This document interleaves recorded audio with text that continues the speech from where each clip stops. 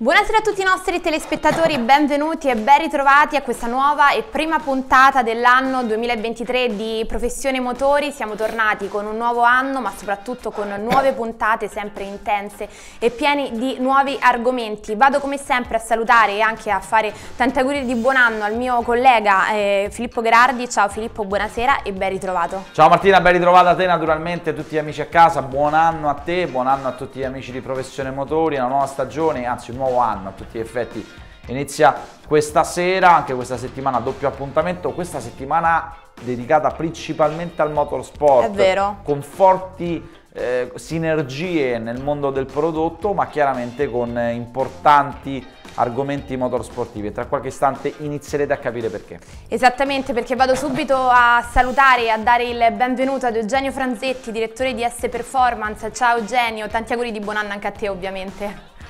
Tanti auguri a te, a tutti i telespettatori, grazie di avermi invitato.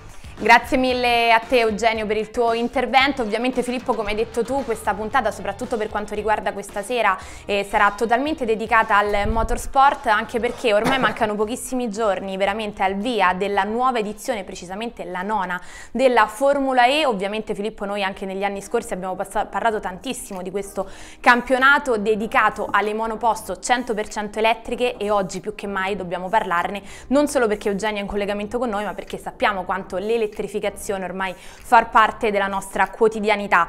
Mancano pochissimi giorni, precisamente il 14 gennaio si darà il via alla nona edizione della Formula E, precisamente con il EPRI del Messico, quindi si volerà subito in America per eh, cominciare questo eh, nuovo campionato e soprattutto debutteranno le nuove monoposto Gen, Gen 3, quindi la terza generazione, ma non è la sola e unica novità perché veramente in questa nuova edizione della Formula E le novità sono tantissime. Sì, sono tantissime, poi chiaramente mh, ascolteremo anche l'opinione di Eugenio Franzetti da uh, altro... Viene posticipata perché esatto. solitamente è sempre ad aprile. Insomma, Trova una collocazione strategica e anche più spazio a livello motorsportivo. 22 piloti, 11 equipaggi, ci saranno alcuni debutti importanti, penso in primis stanno investendo su questa manifestazione perché ovviamente... Esattamente, proprio per questo passerei subito la parola di Eugenio Franzetti, appunto direttore di DS Performance, DS tra l'altro Filippo un marchio che ha sempre insomma, partecipato alla Formula E dominando. E che anche. dal 2024 produrrà solo vetture 100% Assolutamente, lo ricordiamo e lo, lo, abbiamo già insomma, raccontato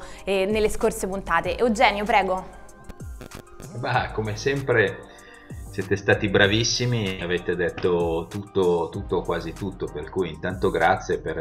Ecco, Eugenio ha detto una cosa importante, la Formula E di fatto è, è, lo sintetizza l'idea ha fatto sì che le batterie diventassero più piccole.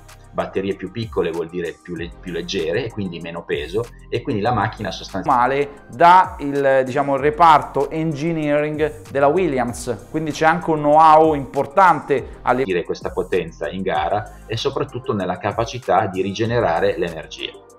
Assolutamente, parleremo nel secondo blocco dei piloti perché c'è ora ovviamente da, da, sbilanciarci sì. anche su favoriti sì. e non. Loro hanno ingaggiato il campione del mondo Van Dorn, insomma hanno un team importante, sembra il Milan degli dirlo, anni 80. Generic Vernie che si conferma. Sembra appunto. il Milan degli olandesi per fare un omaggio anche a Franzetti, il team di DS Performance quest'anno. Nuove macchine, nuove piste, nuova era quindi della Formula E, però ora vi lasciamo alla regia, quindi alla linea della pubblicità, rimanete con noi con Professione Motori, a tra poco. Bentornati alla seconda parte di Professione Motori e dopo la pubblicità ci eravamo appunto lasciati parlando e dedicando questa puntata totalmente al motorsport e alla Formula E con il collegamento video Gianni Franzetti, direttore di S Performance in collegamento video con noi e Filippo lo abbiamo detto, anzi lo abbiamo anticipato, certo. secondo blocco dedicato totalmente ai piloti perché comunque DS si conferma e un'altra volta nel campionato della Formula E con un team importante che insomma presenta due nomi soprattutto molto importanti, Van Dorn e appunto Generic Verni. Beh, allora, aziendale, c'è ancora Andre Lotterer che per un anno è stato anche protagonista nel team proprio di un campionato relativo e che adesso si è trovato la sua dimensione in Formula e loro comporranno la coppia. Eugenio, passo direttamente a te, ovviamente vi siete schierati bene in pista, questo possiamo dirlo. Ah sì sì sì, beh, sicuramente eh, DS ha creduto fin da subito nella Formula E eh, e quindi diciamo la Formula E è nata nel 2014 così come il marchio di Nick De Vries, pilota olandese che quest'anno sostituirà tra l'altro Pierre Gasly al volante dell'Alfa Tauri, quindi sarà diciamo titolare per gran parte, per tutta la stagione, insomma ci auguriamo per lui che non ci siano intoppi strada facendo.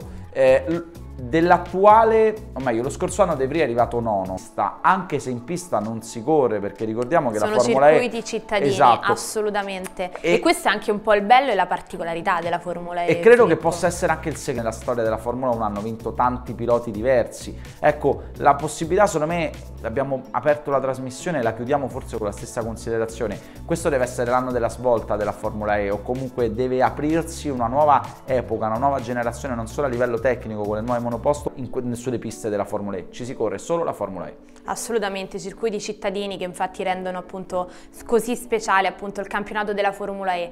Siamo in chiusura Filippo, non so se Eugenio voleva aggiungere due battute prima di salutarci e aggiungere qualcosa in merito. Vi invito tutti a seguire il campionato con attenzione perché penso che assolutamente e quindi anche noi Filippo questo weekend ovviamente saremo presenti nel vedere appunto la prima gara della nona edizione della Formula E. Io nel frattempo saluto e ringrazio Eugenio Franzetti, direttore di DS Performance, grazie Eugenio, è un piacere come sempre e ti auguro una buona serata. Grazie, arrivederci a voi. E ringrazio e saluto anche Filippo Gerardi, ma ti do appuntamento domani sera perché continueremo a parlare tra l'altro di motorsport e non solo. Assolutamente, ci vediamo domani Martina, grazie, grazie a Eugenio, grazie a chi ci ha seguiti. Ringrazio ovviamente anche tutti i nostri telespettatori che ci hanno seguito come sempre e l'appuntamento con Professione Motori per domani. Arrivederci e buona serata.